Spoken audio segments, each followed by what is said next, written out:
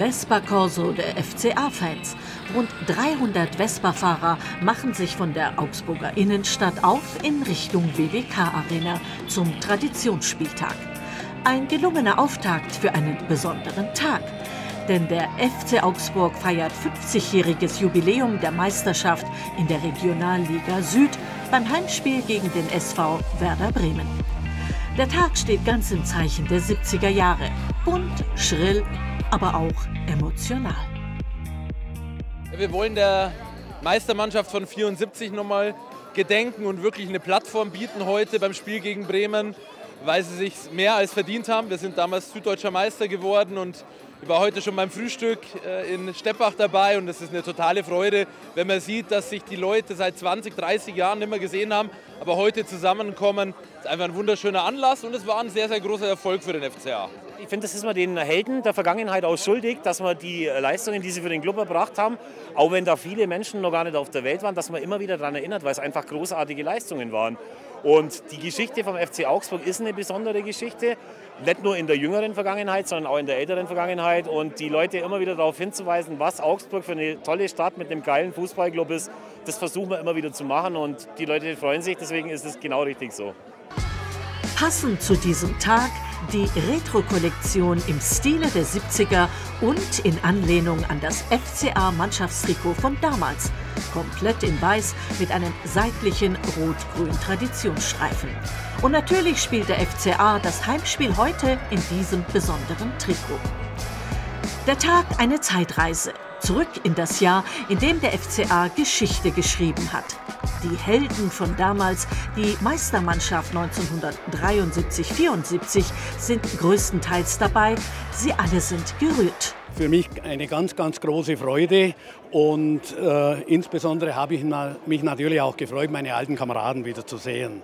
Und äh, das ist eine ganz tolle Aktion vom FC Augsburg, äh, das wir alle sehr zu schätzen wissen. Ich muss sagen, ich finde das eine tolle Sache, ja, dass man seine alten Kollegen, mit dem man ja wirklich was bewirkt hat, wieder sieht und äh, alte äh, Erinnerungen nochmal äh, äh, schwelgen lassen kann. Also ich finde, es ist grandios, eine tolle Idee und es macht mir Spaß und ich würde jederzeit wiederkommen, zumal ich Augsburg als Stadt auch sehr lieb gewonnen habe. Ich habe immerhin 17 Jahre hier gewohnt und über alle und alles schwebt der Augsburger Ausnahmefußballer Helmut Haller, der damals in der Meistermannschaft mitspielte und wichtiger Teil des Erfolgs war. Haller bleibt unvergessen. Er war ein ganz, ganz großartiger Spieler und ich kenne keinen anderen, der auf engem Raum so gut dribbeln konnte wie der Helmut. Aber er war auch in der Lage, Pässe in den Lauf äh, seiner Mitspieler zu spielen oder Doppelpässe zu spielen.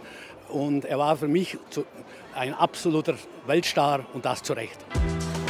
Auch die Fans von der Ulrich-Biesinger-Tribüne haben ihren Beitrag geleistet und passend zum Thema des Tages eine Wand in der WWK-Arena gestaltet.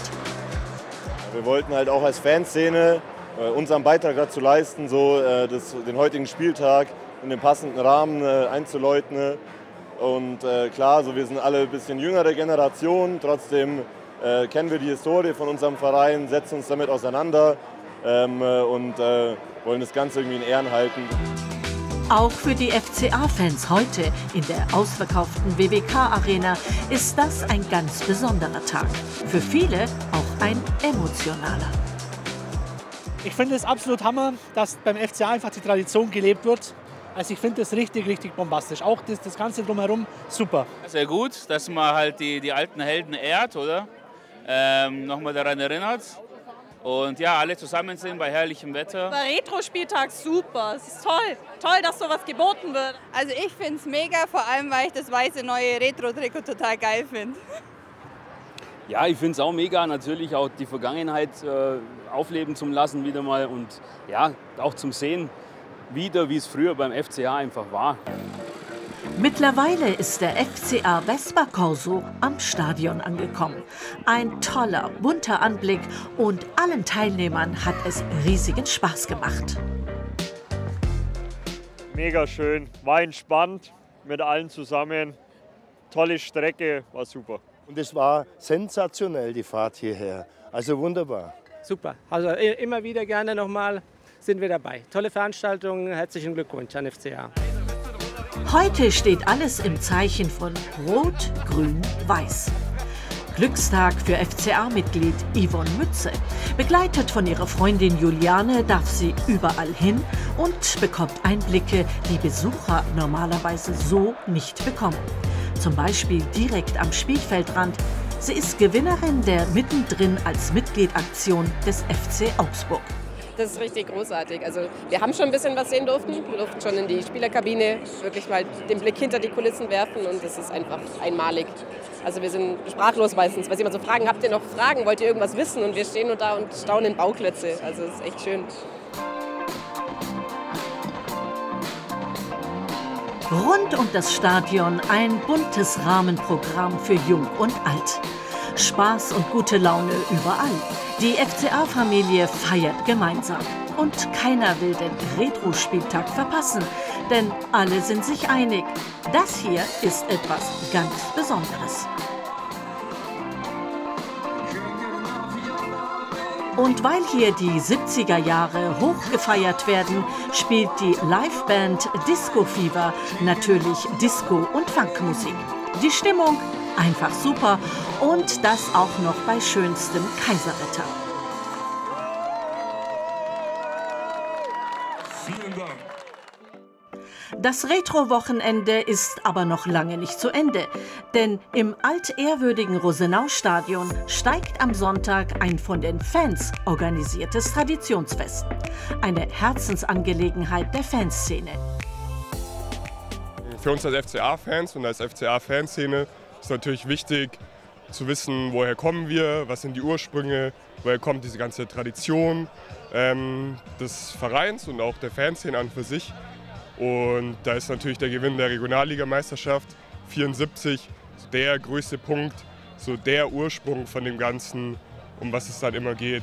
Tradition, Merkmale, Traditionstrikot, Meistermannschaft, Helmut Haller, die ganzen Namen, die immer im Raum stehen. Und da ist es wichtig, das Ganze auch mit Informationen zu füllen und auch an die jüngeren Generationen heranzutragen.